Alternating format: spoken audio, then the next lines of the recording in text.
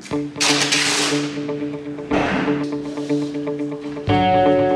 practical I enjoy just doing my own thing, giving my own ideas. It's, it's something different, you know. It's it's not offered in many schools, so I'm pretty privileged to to be able to to express my ideas and all that.